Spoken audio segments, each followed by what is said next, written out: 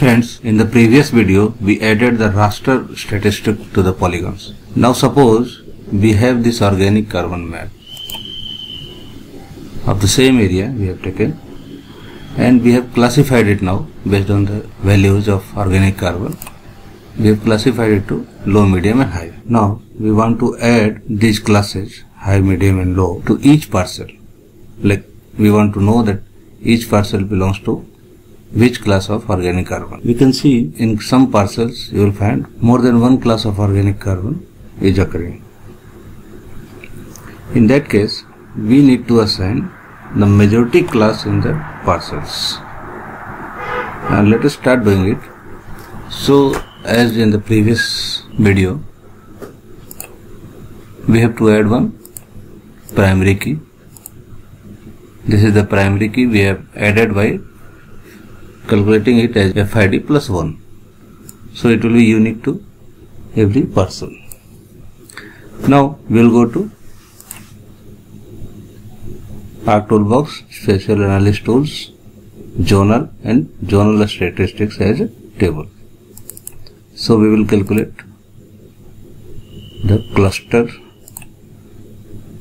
and then primary key and here organic carbon the class 1 okay?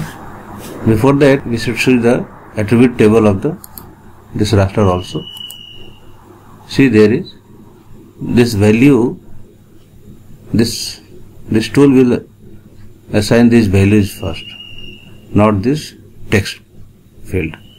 So this value is low 1 for low mid 2 for medium and 3 for high. Okay? So we will save it as like organic carbon stat and then in the statistics type take the majority field. And then click OK.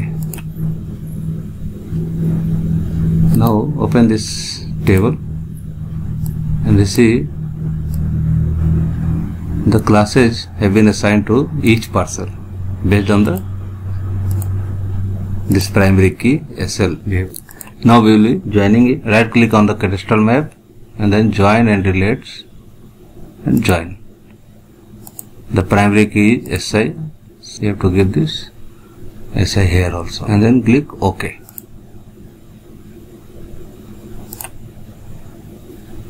Now open the attribute table and you will see this majority class is there. So this 1 is for low, 2 is for medium and 3 is for high. So in this way we have added all the organic carbon classes to each parcel. Now export it as new shape file like cadastral organic carbon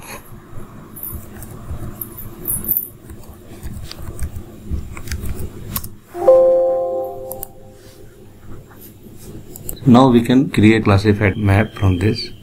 Go to the properties and then symbology and their categories and we can categorize it based on the majority. This majority is organic carbon majority. And then add all values. And now we are knowing that 1 is low 2 is medium and 3 is high. In this way we can now classify it. So now now we can say that these parcels are low in organic carbon these blue parcels are, are medium in organic carbon and these are high in organic carbon. So you can now see, compare it with the, the original classes and now this one. See here there were two classes low and medium but now it is this parcel is classified as low because majority of pixels in this parcel is low in organic carbon that's why the it is classified as low. That's it. Thank you for watching.